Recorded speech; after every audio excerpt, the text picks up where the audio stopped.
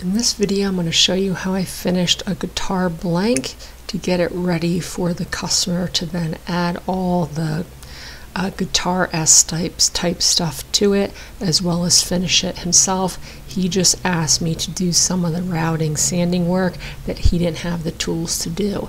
Now admittedly I don't know a lot about guitars but I do know a fair amount about woodworking and I thought this video could help people that know a lot about guitars but not a lot about woodworking. So he sent me this blank that already had some of the holes pre-routed.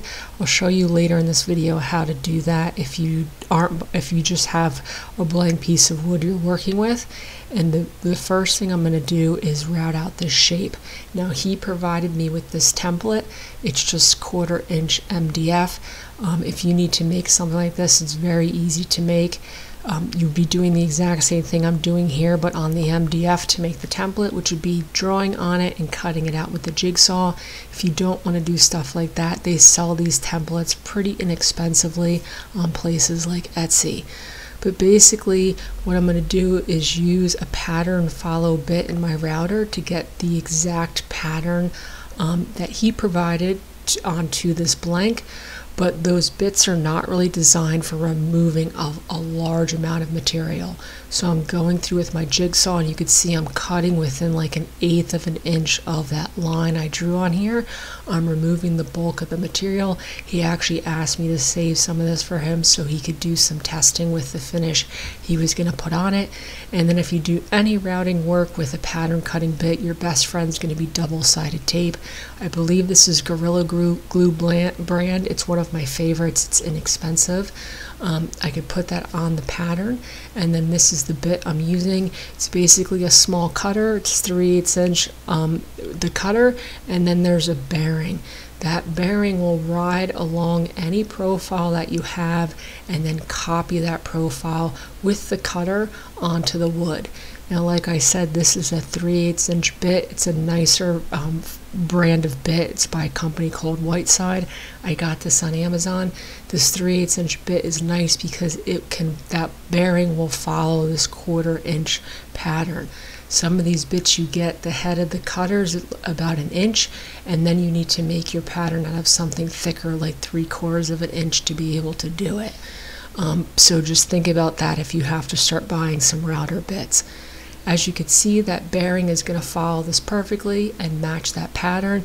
And then he had told me that his MDF cutout wasn't perfect, so it doesn't go all the way up the neck. So you can see I'm kind of leaving that area to deal with later because it would cut too far into the blank if I followed what he had provided. I think it should have been about um, a half of an inch, a little taller.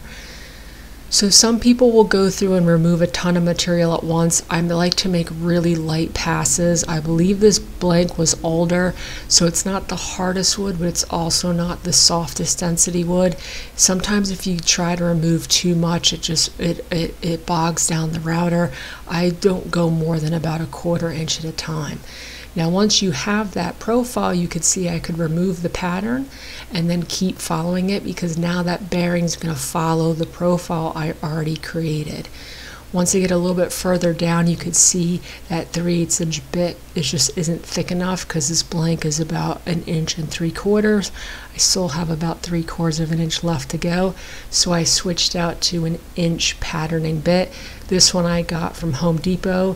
The red brand is Freud. Um, this is also a really nice brand of bits. So that one will help me get further down on the blank. Then to finish it, I you could finish it with the Freud bit, but I happen to have this in the shop because I have quite a few bits. This is the same sort of bit, but you could see the bearing is mounted on the top. So I can flip this over just so I don't have to elevate it and worry about cutting into um, the protective surface I have on my table saw. I can flip it upside down and this bit will use that top side bearing in order to finish the pattern. So that was basically why I ended up using that one. But like I said, if you wanted to, that Freud bit I had is, is deep enough to go all the way down. So then I just lightly sanded that, and like I said, I was left with this area up at the top of um, the neck. He had kind of told me not to cut too far into certain spots, but basically, um, the recess that was pre-routed in here just needs to be followed. So what I had to do here, because there's already a recess, is basically I was going to make a plug for this section so that I could route around it. This ended up working out pretty well because if I would have, if the pattern had gone all the way to the top, it wouldn't really have mattered because the wood's so thin here, that ball bearing would have busted through the wood anyway and it would have uh, hit into the pattern. So as you can see, I'm just removing some of this material. I made a pencil line in order to follow it. And I'm just creating a little bit of a ledge so that I could take this piece of plywood because this is three quarter inch piece of plywood. It's a little hard to see, but that neck part tapers. So I could cut this so it's the perfect width to fit in the back and then trace that taper with a pencil with that ledge I created. It's just a little bit of material that has to be removed so all I did was cut it down to my line and then I could use um, some sanding materials I had in order to clean up that curve. You could use a palm sander in order to clean up that curve if, if needs be. And then I could slide that into place and then you could see now that patterning bit I have can follow this blank. It won't kind of cut into that recess and then I could clean up this top side here. So it's going to be the exact same process. I'm going to use that same series of bits, the 3 8 inch bit, the inch bit, and then um, the bit with the top side bearing to flip it over and finish it up. So these are, most of the bits I have are, are somewhat new and, and nicer quality, so you can see they're not leaving a lot of burn marks or anything like that. If you buy cheaper bits, they won't last as long and they'll, they'll really burn the lumber on you. So then we had to move some of the holes that he had put on this template because it was going to hit the edge. So that's what I'm showing you. I'm moving these over. And this top hole, which I believe is where a potentiometer is going, has to be a backside um, recess like the one that this came with. And that black little plug is going to go over top of it. So the way that I'm going to recreate that is I'm drilling a hole through the whole piece of where it needs to go that hole is going to be what I use for my hole saw in order to guide that in place. So I could take a compass, I can mark the inner lip because this black piece is going to need an inner lip to sit on and then I can mark a little bit inside for the depth of it. I was pretty lucky. This outer bit was the exact same size as a two and an eighth inch hole saw, so I could do that lip pretty easily. And I was also lucky in the fact that the inner hole I had to make, I believe, was exactly the same as an inch and a quarter. So all I'm going to do is on my drill press set a depth stop, and then I believe this little lip here is about a little less than an 18th of an inch. So I went down an 18th of an inch and I could remove that material. So now I have an entire circle with the depth is an 18th of an inch. An eighth. I don't know why I keep saying an 18th. An eighth of an inch. And just use my finger to figure out if that was flush. Then, like I said, I could switch over to the inch and three quarter hole saw. You could see why I put that original center hole in there because these hole saws have a centering bit. And if you take that out, they will dance all over the top of your material, even if you're using it in a drill press. So then I'm going to set the depth based on the cavity that was already pre-routed so I could get the exact right depth and then I could just drill through this whole piece. This circle's bigger than the circle I previously drilled, so I'll have that lip. And like I said, I have that original center hole, which will keep everything aligned. So that's what that is going to look like. Now all the holes on the bottom are 3 eighths of an inch and then this hole on the top is a half of an inch. And like I keep saying, the reason I didn't drill that half inch in the beginning means it would have been too big to use the, the, the pilot hole on the, the hole saw. So I could just go through with a 3 8 inch bit and drill through his template for those three holes down there. And then a half inch, I'm going to drill through this top hole for the potentiometer all the way through to the back because that plug's going to have to come out. So any material I could drill through here would just make it easier. Now you could keep drilling some holes in the back to remove all the material, but a lot of times when you have a plug like this, if you just use a chisel, after a couple mallet blows, um, big chunks of it will start breaking off, which you can see here, and I could just chisel out this plug till I reach the bottom, and that is how um, I created that hole. So that's what that looks like with the lip and the hole. It's the same depth as the ones that came pre-routed in there. And then um, this disc fits just about perfectly in, in that space. So then I could take that template off again. Like I said, double-sided, uh, this double-sided tape is going to be uh, your best friend for stuff like this. Now he had some binding strip, two pieces of it that he wanted to go on the outside of the guitar. The problem with this was the measurements, I believe, are metric, and I don't have a lot of metric tools. So I had to modify a rabbeting bit I have. I have a rabbeting bit that has various size bearings, which will give you different depth rabbets, but it wasn't exactly what the thickness I needed for those two pieces of binding strip you saw. So what I decided to do was I cut thin strips of electrical tape and I built up that dimension on the bearing so that it wasn't as thick. That was the problem, it was cutting too deep. So by adding this little bit of material on the outside, it's going to push the cutter further away from the surface and create the exact dimension I wanted. I put about five or six strips on there. I tried to make them to where the two ends meet. If you overlap the you will get a bump and it will show up on your surface. So I tried to make them as flat as flush as possible.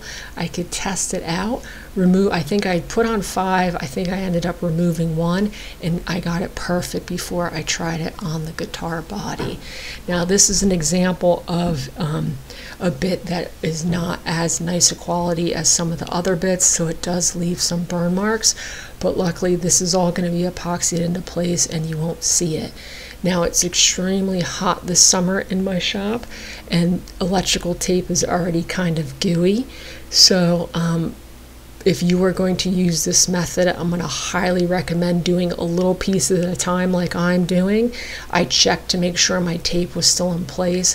There was actually one time where it was starting to slip because as this goes around, that tape does not spit, make the bearing spin as freely as it does without it because it creates um, a little bit of friction. And so it will heat up and that tape can come off. So if you are going to do that method, just go slowly and keep checking that, making sure everything's in place. So then for the bottom, he wanted a little bit of a round over. It, I had a similar issue where the eighth inch round over bit I had didn't have the bearing on it that I needed. So I happened to have these bearings laying around the shop. I could swap out the bearing and put that round over on the back. So those the, these bits all come with removable bearings, so that was pretty easy to do. And then he uh, that blue tape, I was kind of staying where he told me to stay away from the neck with with this round over. So this was pretty simple, just on the on the back here. Once I swapped out those bearings, and then it left you know a little bit of of some some wood fuzz on there, but everything cleaned up real nicely with with sandpaper on this. And then the last thing was um, a, a, plug for the jack that goes in the side. This was pretty easy. I just free-handed this in the, the, the general vicinity of where he wanted it to be. It ended up being a half inch hole, so I kind of stepped up the drill bit so I could get it aligned and as square as possible. And then once I was done, you could see that that input fits right through there and goes into that cavity that was already um, in the back. So stuff like this could be a little nerve wracking because these blanks are not really cheap and you can mess them up pretty quickly. So then this is what that looks like. And like I said, I'm going to show you a little bit because like I said, some of these blanks come with nothing on them. Like you can obviously see parts of his were pre-routed. I don't know a lot about guitars. I don't know why all the parts weren't pre-routed. But if you want to start with just a blank, you could easily make any shape by doing something similar to what I'm doing here. I'm just made a very quick kind of mimic of a, of a pickup that was on his guitar. Um, I drew some quick lines, quick pattern. I'm going to do this pretty quickly. This is just quarter inch ply. If you're going to make patterns, I recommend making it out of MDF because you could see the thin veneer of the of the ply is kind of flaking off, which won't affect it, but it could be a pain to try and jigsaw that out. And like I said, I'm going quickly, but if I was making this out of MDF, I would cut just shy of my line and then sand to my line to make this perfect. just cleaning it up real quickly with a rasp. And then that patterning bit is going to do the exact same thing it did for the outside of the guitar body, but for this inside dimension. So if you're making a pattern, I'm going to recommend um, making them oversized because then you could clamp to the, your surface if you don't have that double-sided tape. Um, it just makes life a little bit easier. And then I'm going to just drill a hole so this bit can fit in that hole to the depth I want. And then I'll just use this bit till I get to that depth. These bits are really good for following patterns. They're not great at removing material vertically. So you could kind of lower them into the piece, but sometimes they'll burn a little bit. And same process with that 3 8 inch bit. You can make really thin patterns, just like I said, this is quarter inch ply. It will follow that outside edge. Um, a thing of note is it's going to create rounded edges. So you could see my square pattern is now rounded. And that pattern was very quick, so this doesn't look super symmetric, but that's how you could do this if you don't have all of those pre-routed holes pretty quickly. Align everything, measure it, and um, the sky's kind of the limit with the, the exterior outer edge shapes you can make as well as inner in shapes you can make with those bits.